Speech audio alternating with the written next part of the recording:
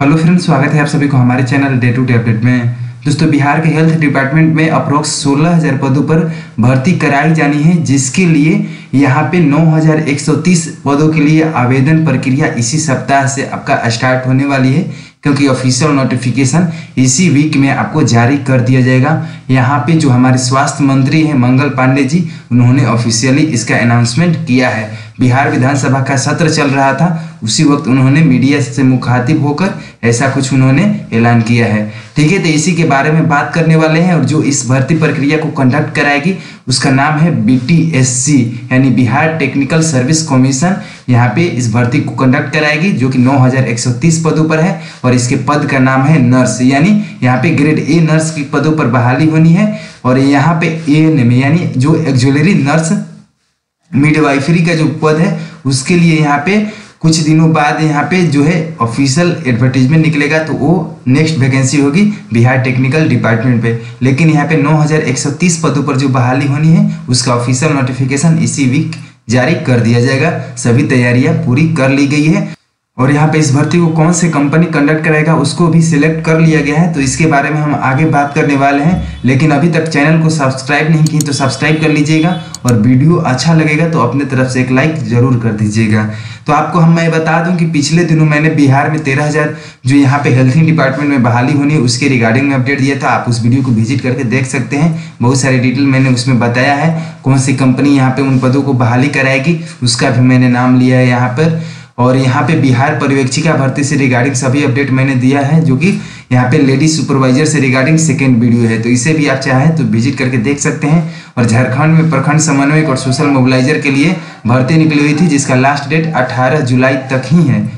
यानी आज ही तक लास्ट डेट है तो आप चाहें तो उस वीडियो को विज़िट करके देख सकते हैं। तो चलिए चलते हैं आज के मेन टॉपिक पर। इस बात को समझाने के लिए मेरे पास हिंदुस्तान न्यूज़पेपर और प्रभात न्यूज़पेपर दोनों का पेपर कटिंग है। चलिए दोनों पेपर कटिंग को देख लेते हैं, क्या ऑफिशियली आर्टिकल यहाँ पे लिखा गया है। तो आप देख सकते हैं, सबसे पहले ये हिंदुस्तान न्यूज़पेपर का यहाँ पे छापा हुआ आर्टिकल है। आप चाहे तो क्रॉस चेक कर सकते हैं हिंदुस्तान न्यूज़पेपर और प्रभात न्यूज़पेपर के ऑफिशियल वेबसाइट पे जाकर ये आज ही का अपडेट है। ठीक है? तो यहाँ पे आप देख सकते हैं, लिखा गया है 9130 ए ग्रेड नर्सों की होगी नियुक्ति। ऐसा कुछ यहाँ पे हेडलाइंस है और यहाँ पे जो प्रभात न्यूज़पेपर का हेडलाइंस है, यहाँ पे लिखा गया 9130 स्टाफ नर्सों की होगी नियुक्ति।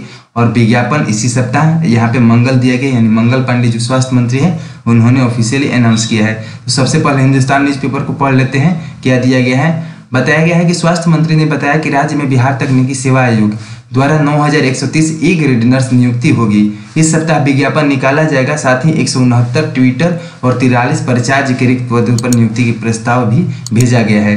तो जैसा कि मैंने आपको बताया कि इसी सप्ताह यहाँ पे ऑफिशियल एडवर्टीजमेंट जारी कर दिया जाएगा और साथ में मैंने बताया कि जो यहाँ पे सोलह के आसपास बिहार के हेल्थ डिपार्टमेंट में जो वैकेंसी होने वाली है, सोलह हज़ार के आसपास है। देख सकते हैं यहाँ पे छः हज़ार चार सौ अस्सी ई एन एम यानी एक्जुलरी नर्स मिडवाइफरी का यहाँ पे पोस्ट है और यहाँ पे एक सौ उनहत्तर ट्विटर और तिरालीस यहाँ पे प्रचार जी का भी पोस्ट है। तो सभी यहाँ पे लगभग जोड़िएगा तो सोलह हज़ार के अप्रोक्स पोस्ट है, लेकिन नौ हज़ार एक सौ तीस पदों पर सबसे पहले भर्ती प्रक्रिया कराई जाएगी। ठीक है? और यहाँ पे आगे बात कर लें तो जो यहाँ पे प्रभात न्यूज़पेपर में जो लिखा गया, उसे देख लेते हैं। लिखा गया, स्वास्थ्य मंत्री मंगल पांडे ने बुधवार को विधानसभा में कहा कि बिहार तकनीकी सेवा आयोग के ज़रिए 9130 नियमित स्टाफ ग्रेड ए नर्स की नियुक्ति की जाएगी। अगर ग्रेड ए नर्स के बारे में आप लोग नहीं जानते होंगे तो मैं आप लोग को बतला दूँ कि जो नर्स की यहाँ पे कैटेगरी है, सबसे ऊपर वाले कैटेगरी को ग्रेड ए नर्स बोलते हैं। इसके अंडर में ही और सभी कैटेगरी की जो नर्स हैं, वो आती हैं। ठीक है? जो निचले कैटेगरी की यहाँ पे नर्स है।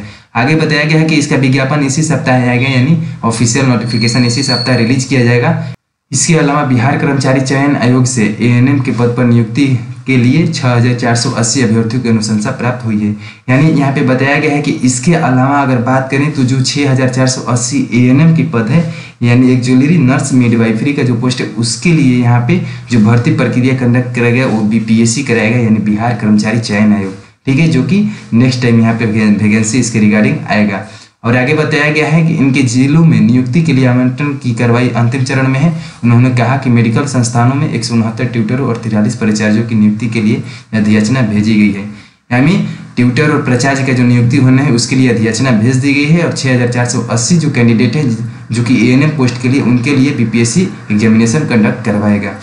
ठीक है तो बस यही आपको अपडेट दे देना था और आप लोग को बतला दूँ कि इसका ऑफिशियल एडवर्टीजमेंट जल्द ही यहाँ पे रिलीज़ कर दिया जाएगा। तो मैं आपको यहाँ पे वेबसाइट को रेगुलर चेक करता रहूँगा कि कब इसका ऑफिशियल नोटिफिकेशन रिलीज़ किया जाता है और जो ही रिलीज़ किया जाएगा, मैं आप लोगों को अपडेट दे दूँगा ताकि आप लोग बढ़िया से फॉर्म को अप्लाई कर पाए अगर आप लोग एलिजिबल हैं तो।